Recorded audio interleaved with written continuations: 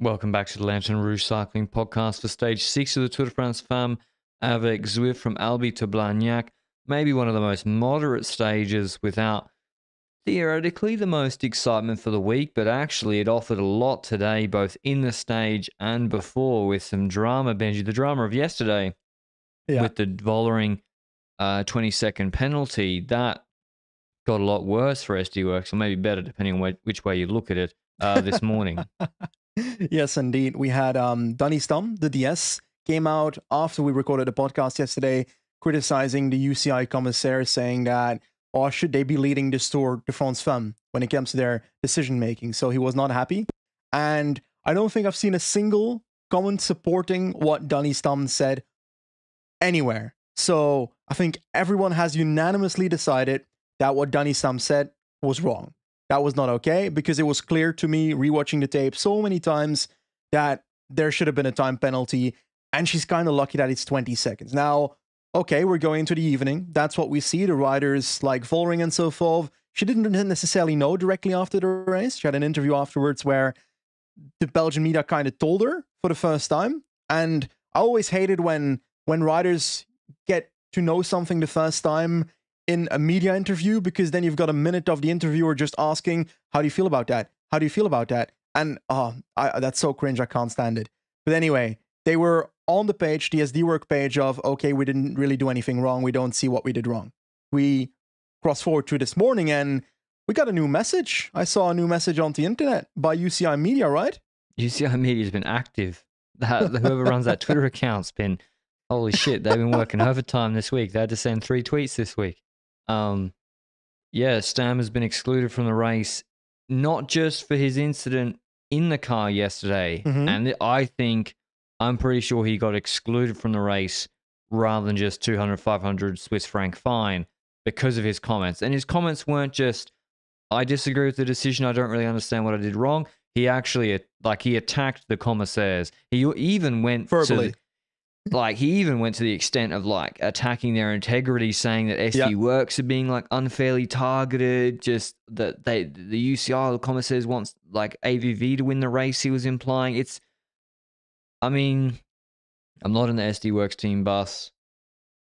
I feel like I've been very critical already this week, and I don't like doing it to the same team over and over. But um, yeah, the environment in that team to me looks really bad. And Yep. You saw you mentioned that in the documentary. You saw I obviously can't get the context. My Dutch, whilst it, I am fluent, I can't get the full context, and, and just there's just no like it doesn't matter, man. Like okay, uh, for sure, in the heat of the moment, I also have a fuse, and in sports, I also blo- you know have blown up whatever. But this is like afterwards, you're not going to change the 20 second penalty. How can they not? And even this morning, like he's woken up a new day, and if you, I always think with people, how are they the next day? They've slept on it, they've woken up. Maybe they say, you know what? Yesterday I was a hothead, I fucked up. Yeah. 20 second penalty could have been worse. In fact, I'm I'm glad Demi's okay and you know we go forward. But this morning Stam's like, oh, I, I still don't know what the problem is. It's like, well, then you're the problem, and actually you shouldn't be in the race if that's how you think. Exactly. Now, as a follow up to that, that's not just the only consequence for uh, SD Worx. There's also tiny consequences everywhere because next to the 20 seconds, there's also other consequences in other classifications. Obviously, Vollering doesn't care about the points classification. She might not even care about the QOM classification. But because of that, she's now on minus two points for the Queen of the Mountains classification, which is kind of intriguing because you've got this battle between Yara Kastelein, Annemiek van Vleuten, and Vollering when it comes to QOM right now. Before the stage that is upcoming that we're going to talk about, Kastelein is on 23 points, Van Vleuten on zero, and Vollering, because of the penalty, on minus two. And there's only 25 points still available. So if Vollering gets both climbs tomorrow, which is Aspin plus Tourmalet, she can still win QOM, depending on whether we saw Kastelein active today. And we suggested yesterday, will she will we see her in the breakaway? Will we see Fenix trying to control the breakaways to make sure she can do it from the peloton? And uh well, we saw a different kind of breakaway on the road, right? April Tacey and uh Rachel Neylan at the start. And when you saw a small breakaway at the start, were you were you certain it was going to uh be a controllable breakaway? Um, I thought it'd get brought back early, like it often happens, and Mhm. then uh, a new break would go, particularly if they got brought back before the, before the last Category 4 climb. And, you know, these Cat 4 climbs, two riders is enough to mop up all those points in front of Kastelein. So, yeah, Fenix-Deceuninck, as she was maybe too close in GC to be allowed. I don't know. We couldn't watch it because coverage hadn't started yet. So we, we don't exactly know what happened in break formation. But yeah, I think it would have been hard for Kastelein to get in, frankly, on a minute. And it's also a lot to ask for her team to basically not allow any breakaway uh, to form at all. And with Wiebes out, like I said yesterday, this is a huge opportunity for uh, Charlotte Kool and Team DSM, for Chiara Consonni, for UAE, ADQ, for Marianne Vos on Team Jumbo Visma, where you know they got a realistic chance, above 10% chance each, of probably winning this stage. Kool higher than that. So I really thought it would be a controlled sprint mm-hmm. because the parcours isn't that hard and it's a short, what is it, 122k. So three hour state. No, maybe three and a half, no, three hours on the dot. I was like, they got to be able to control this. But I think the seven woman teams and already some riders dropped out, it, it makes it really hard to control, especially if the riders attacking are actually really strong riders uh, mm-hmm. as well. That, and then maybe you compare like Emma Norsgaard, for example, case in point, to the the fifth or sixth rider in the hierarchy at uh, you know, a Jumbo or something. Like they're much stronger, those sort of riders. Yeah. Lea Coudinier, for example, at DSM is the type of rider you'd see at the front of the peloton pacing, for example, which would be hard to bring back a three man break, three woman breakaway with Emma Norsgaard, Agnieszka Skalniak Soika, and Sandra Alonso. Alonso, we know from sprints. She's uh she's had pretty good sprints in the past, and she rides from for Ceratizit. Skalniak Soika is the kind of rider where she's been really bloody good this year, but is it necessarily from breakaway against Norsgaard and Alonso that she's very competitive, not necessarily, but I still like seeing it. And then Norsgaard, we we know she's good when it comes to lure type. She she's pretty good at the Roubaix type parcours. She I think got second on Omloop behind Kopecky at a certain point in uh, in recent years. She, she's done loads of stuff, sprints in the past and so forth. So he had a, slight transformation of rider type this year towards a bit less sprint, a bit more versatile, I would say. And this break was up the road and i was thinking what's going to happen? Who's going to control? But we're getting towards these hills. We're getting towards these hills that are hard to control. And there was this this one hill where i think it was the the Côte du Clos Portier but i'm not certain it was that one Labous was pacing over the top because DSM was probably like, we need to put our best climber at the front to make sure we can control the breakaway. But then you get the issue that your sprinter gets in trouble. And as Labous was rolling over the top of the summit, we saw at the back that Kool was dropping into a second group. And that's the kind of thing we always talk about when it comes to sprinting teams needing to reduce the tempo on the climb, which gives the breakaway a bit more option. While on the flat end, and while on the flat section, they basically have to push through entirely to try and make it. And we saw that exact scenario, the opposite side of the coin here. So Kool is then behind after that hill, behind the peloton, 15 seconds. We see rider by rider of DSM waiting, and I was kind of waiting what would happen in the peloton because like other teams would have to take over, and it took a while. I feel like, but then UAE took over, right, in peloton to try and keep Kool behind. Yeah, they started pacing. I thought Yumbo, they moved riders to the front, and then you're like, well, maybe SD Worx need to pace because Kopecky's not slow. Like she can win this sprint too. So yeah. if these teams all collaborate, they can keep Kool behind, and uh, one of those three are guaranteed pretty much to win the stage. But and you also got to manage this breakaway too. You can't just wait for DSM to come back and then they're going to have to recover because they've just done a chase as a team and then they're going to go slow and, and not really bring the gap back too much. So, but anyway, they did come back. There was a crash by Ewers and Kastelein. Ewers crashed pretty hard into a ditch, I think. Um, and yeah, that, but that was just on a straight road. Kastelein got straight back up. And the gap's at 133, 33 k's to go. And, and you already mentioned her, but Skalniak Soika she is like you look at her and you're like, oh, she's not she's small, not that powerful, but she's actually like a TT specialist. And if there was if there's a TT, I, I really want to see how she goes on Sunday in that Pau TT that has two climbs. Because she's like, as I said, she's small, but well, not small, but like she's not like a, as big as Van Dijk or Reusser.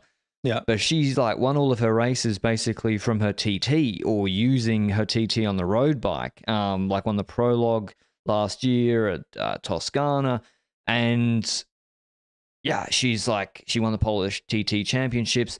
Her climbing to date, like in the La Vuelta, she disappointed, and in uh, UAE Tour on Hafeet, I really expected because TT riders in the men usually on Hafeet, like Plapp and Bilbao, can do pretty well on that climb, but um, hmm wasn't that good. And then on Lagunas de Neila, she came 10th. And I was like, all right, ahead of Sant Esteban. I was like, okay, she, I think there's a GC rider in there in Yeah. Soika. So I really want to see how she goes tomorrow and, and on Sunday. Um, just as, yeah, just to give you some background on who she is and how I see her progressing. Yeah, she's 26 and she's been riding for quite a while, but um, I still think there's a lot of margin there. And so, yeah, I'm keen to see how she goes this weekend. But they're pulling really strong, three really strong riders. It did look though, Benji, with when Yumbo, DSM, and UAE were all contributing, it looked pretty under control, and the gap was coming down steadily. Like it got to 5Ks to go, 18 seconds, and it's coming down. And if you're doing the maths on how much time they're losing per K, it looks fine. Like it looks like they're gonna get caught with 2Ks to go. And Alonso was fucked. She like stopped pulling because she was about to drop. And then I don't know what happened. It just stalled. I don't think Norsgaard was. I, I can't have been holding back. Did they just run out of domestiques on the front?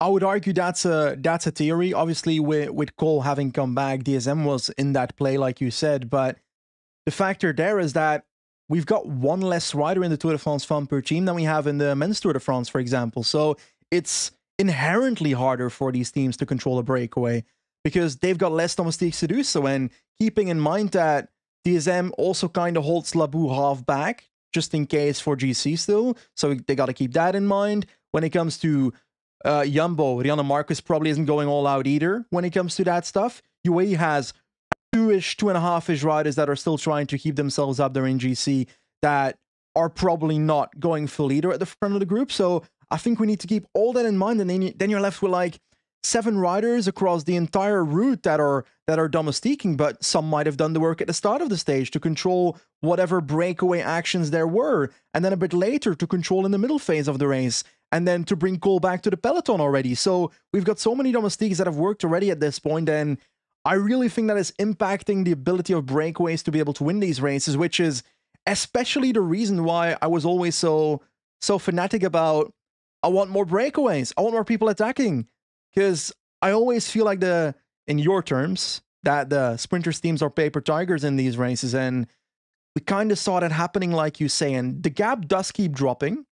3 kilometers to go Alonso dropped off the front. So the gap went down to 18 seconds and 3 kilometers 18 seconds if you've got enough domestiques that can work out. But if you're limited, that's going to be a close one. And it was limited, but I think it got worse with what happened at 800 meters to go because they went through a chicane and we saw a Ceratizit rider in the peloton in 20, 15th position, maybe, kind of having to brake to not crash.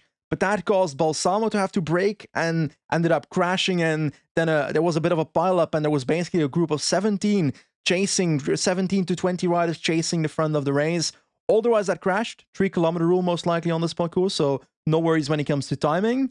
But it really did disrupt the chase because then suddenly Henderson was off the front for a bit. I think Vos tried to use her for reverse lead out to make Kopecky or Kool chase.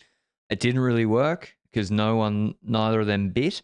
And that basically just meant you have Henderson chasing um, Norsgaard. And so she's not really going much faster. Plus, the gap is huge. In fact, you know, if you, if I think if you went Markus then Henderson or Henderson and Mhm. Markus lead out for Vos, they probably catch her. But Yep. Norsgaards are basically attacked. Uh, Skalniak Soika, that she didn't wait for the sprint. She couldn't wait for the sprint because the peloton was closing in. That chicane with the tram tracks, I got to say, it was quite tight. And Yeah. I was not surprised. When I saw the brake go through it, I was like, they're going to crash behind in that because it's a hectic sprint finish they're chasing. So, don't know about that. I couldn't find a last guy that didn't have tram tracks in it. But um, It's anyway, actually sad. yeah, Norsgaard goes clear, holds off Skalniak Soika, and most importantly, the peloton behind with Wiebes, oh, not Wiebes, Kool beating. Uh, Kopecky was furious though, but she kind of stopped. When Norsgaard crossed the line, she gave up. Vos fourth, Paladin fifth, Consonni sixth. Julie De Wilde seventh, Marta Lach eighth, Guazzini ninth, and Skalniak Soika was caught, but just hung on to come top 10. And so that's actually Norsgaard's first ever World Tour win, which is somewhat, Crazy. yeah, a little bit surprising because when she broke on, like she came second in Omloop in 2021. She came second in Brugge-De Panne in 2021, where she was actually the 10th best or like one of the best riders in the world, like really consistent results across across all her races in the classics, but she was second in a lot of them. And then yeah, just never won a world tour race because she's not her sprint isn't yeah, it isn't the best. Um and so it's hard to win with that with that. And so she did something Yeah. different today and Movistar Yeah. played a blinder again. Exactly, and that's the beauty of this. It's a a team with not necessarily the top five sprinter in the in the race anymore, to the point that they're now excessively choosing to put her in the breaker, which I love. I love that that strategy. It's a gamble, but it pays off in this occasion. And otherwise, what would you have gotten with, with Norsgaard in the sprint? Maybe it's a, a four, five, six, seventh position in the sprint. I'd rather try and win from the breakaway at that point. Then they they ended up pulling that off, and yes, there were things during the race that hindered the chase a bit. Yes, that crash might have been a, a reason for it, but that's one of the reasons that you go in breakaways and that you hope that something fucks up behind. Because if you're in the peloton and you leave it late, it probably wasn't a decision to leave it late this time around. But if they leave it late, then something can always happen. We saw it at Roubaix Femmes, for example. There was a breakaway. They left it late. The gap was huge, and then a crash happened in the chase behind, and well, the breakaway ends up winning. So this is one of those occasions as well where that might have influenced it, but I also think that it would have been close regardless. But um, that being said, it's a wonderful victory for Movistar, second already in this race. And when it comes to GC, they're ahead of Vollering at the moment, in front of a very big day tomorrow. I think that team is very happy, and I think they've also made um, good team car decisions to also give a thumbs up to a team at some point. There's been a few wobbles a few times where there was like, uh, oh, they should have done that or they should have done that. That was a bit of a mistake, but I don't think they've done major fuck ups this race so far. I think Movistar have been really good. And same with Canyon SRAM. I got to say, Canyon SRAM, Yeah. like, okay, they didn't win today, nor did they get the podium in the stage they deserve, but they put their riders in a position to succeed. And, you know, most likely in a different world, Skalniak Soika at least comes second. That's better than you're going to get. They don't have a sprinter. So I think Canyon SRAM have been good too. Um, but yeah, you already mentioned it, Benji. Tomorrow's stage, I've been hanging out for it. Like there was a bit of a, it was a bit of a tease with the Van Vleuten and Vollering attacks on the Cahors to Rodez stage, and then they they stopped because I was like, I really, I've been hanging out. I want to see the two big guns, and anyone else that wants to join, go head to head GC battling. That's what I've been waiting for since the Vuelta when it was so good uh, a month and a half ago. I just can't wait to see round two or round three if you include the Tour de France Femmes last year. So yeah, I can't wait for tomorrow. How will it play out though? Because we've got this stage, and if we take a look in depthly at the parcours, there's also a an initial flat part that intrigues me. It's 50 kilometers of flat, and if you are SD Worx, if you are Movistar, do you care about people attacking the peloton? Or not really, unless it's like Kastelein or someone. Well, do they care about well because she's closing GC, not because of QOM, right? yeah, yeah, because she's Yeah. on one minute. Um, but yeah, it's from Lannemezan to Tourmalet Bagnères, 91 kilometers. As Benji said, 50 Ks flat. I think Kopecky's basically one green mathematically, so they shouldn't even worry about the intermediate sprint. Col d'Aspin, 12K, 6.6%. That's quite hard. Like, eh, I know 6.6% doesn't sound that hard, but we've seen that can split the race easily. And then there's a 13 kilometer descent.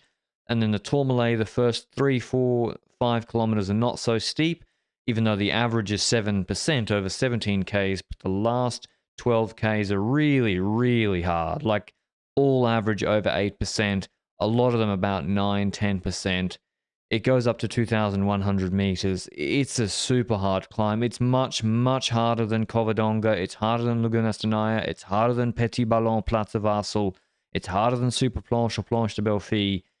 It's an hour climb um, to over 2,000 meters. And I think Marlon, um, not Marlon Royce, uh, Marion Rousse said today a 20 second penalty. I mean, it's not truly correct, but if Vollering it has the same legs as Covadonga and is that much better than Van Vleuten, 20 seconds shouldn't matter for her tomorrow on this climb.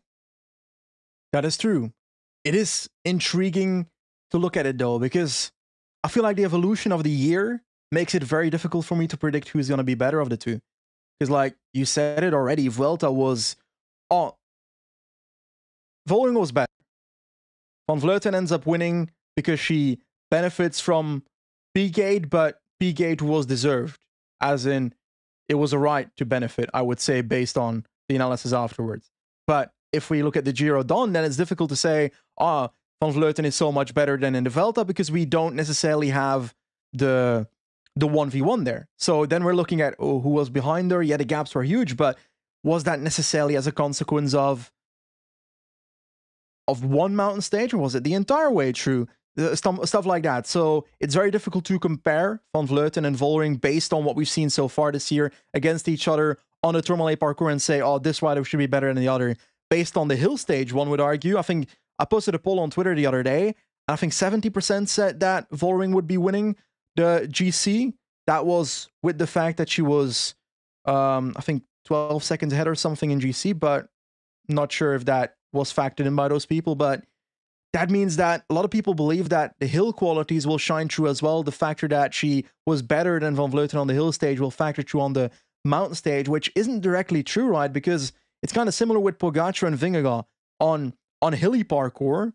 I would I would say Pogacar, but on mountain parcours, I would say Vingegaard. Here it's kind of the same, where I'm like, I'm not sure if Vollering is also at the top level on those mountains on Tourmalet against Van Vleuten, but it's going to be much closer than last year, that's for sure. I'm also, you know, it makes a difference. I don't know whether Van Vleuten will just attack anyway because, you know, she's. Yeah. Yeah, I don't know how patient she'll be, frankly, but it should make a difference the fact that Vollering has to attack. If, the, if two riders are equal, like almost perfectly equal, even on 7%, it makes a difference that one has to pull and the other's in the wheel. So, but, but I think AVV will attack anyway. I think so as well because Last year, she kind of had to attack on the first mountain stage, but we need to add the factor that Van Vleuten probably thinks in her head, like she says about Amstel all the time. Oh, I need to do it from the bottom of the climb to make it as hard as possible to make sure I can benefit from my longer climbing over these punchers. Maybe she takes that strategy and puts it the same way on these mountain stages and just goes all in with the train. The train of Movistar tries to launch her like they always try and do, maybe towards a satellite ride that is in the breakaway already. And maybe that's the factor that they'll do, and then they'll see if if she can just keep on punching it towards the top and hoping that that they can therefore just be better because Van Vleuten's longer climbing is is in their head maybe better. Yeah. I mean, I think it's a big risk. If I was them, I'd play mm-hmm. defensively. Actually, like I yeah, I does that benefit Vollering Sponge? Well, I think Vollering. Uh, I would have been more confident in Vollering, but the stress of this week, like for sure, that whole team is just Jesus. a ball of stress, man. Like yeah. all the issues with the not chasing, chasing, Danny Stam. Yeah, I think it's a that's not the best way to prepare for the most important stage. But honestly, I think Vollering should kill her tomorrow. I think she's the better pure climber right now, and I think Vollering wins with a big gap uh, tomorrow. Okay.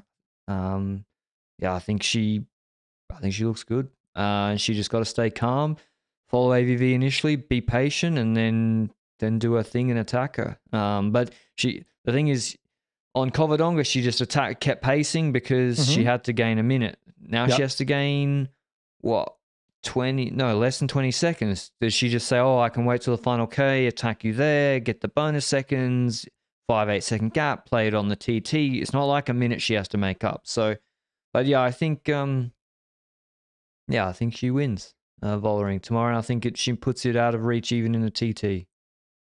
I don't really care who wins as long as it's with a close enough gap to make the TT interesting.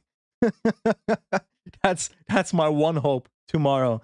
But I also feel like if one gets dropped by the other, it's not going to be a small gap. And yeah, it's a big climb. I feel like I'm more also leaning more towards Vollering doing it, but my initial prediction of this race to counter your prediction of Vollering was was Van Vleuten, and I might as well just double down and triple down and say Van Vleuten will will resurrect herself and prove the haters wrong.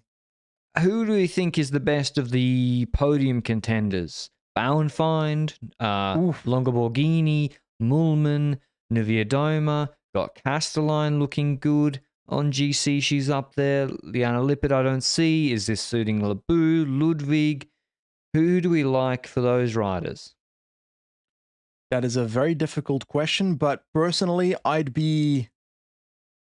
I think Labous's better on longer climbs. Whether it's enough to compete with the others, she didn't look amazing in the first few days, but when it comes to the long climbing, I'm I'm somewhat hopeful.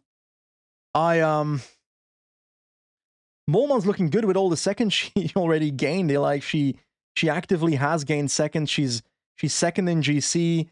She's the highest of all the GC riders technically. I think I think it's gonna be between Mollmann and you reckon ba- I don't know. Based on the first few days, I'm not saying Bauernfeind. I'm saying Labous and Mollmann. Probably Mormon. Uh, I think Niewiadoma is going to be good. okay. I think she gets, she's going to pace herself well.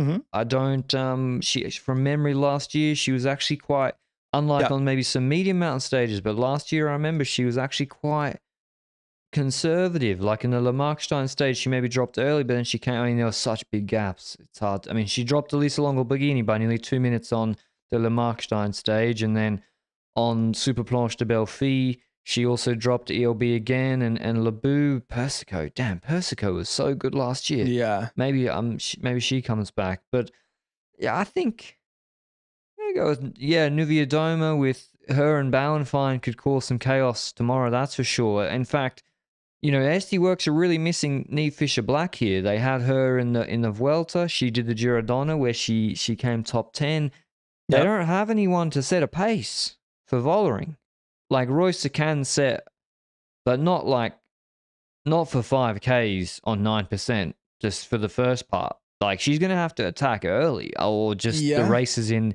Patiño's hands I think Movistar's gonna, just going to launch it. I straight up think they're going to do it, regardless of Van Vleuten being behind on GC. all right probably they will um otherwise tomorrow there's also Classica San Sebastian uh 231 Ks with pretty good start list but to be honest like you know it's the post tour race and I'm not ready to see I'm not ready to see male riders who just did the Tour de France again this soon. Um but yeah AG2R got Gall and O'Connor and co but yeah Remco is the huge favorite. He's won the race twice. He won last year before his Vuelta prep in dominant fashion like a 2 minute ridiculous gap. And um Crazy. Rodriguez is doing it too, even though he crashed. So I'm I'm keen to see how he goes. And Ayuso, who crashed this week as well. UAE have probably got the second strongest team uh, after Remco. So, We, yeah, uh, we forgot to mention one thing about TDFF. Uh, Hentela and her DS got thrown out. So that's Mollmann's main DS that is out of the race. really. Yeah. I mean, she's she's experienced enough. I think she just knows what to do tomorrow at least to follow. But yeah, it's and SD Worx only have one car they're using in the race, despite both Van der Breggen and Stam being licensed to drive it, and they have other DSs. It's all it's all strange. But anyway, big day of racing tomorrow. Big big day of Oh. racing. Uh, can't wait to watch. Uh, can't wait to watch the GC action that we've been all waiting for before the TT on Sunday. But I hope you enjoyed the recap. Maybe there's more drama in the morning. Um, I don't think so though. And we'll see you with the not. recaps of those those races tomorrow. Ciao.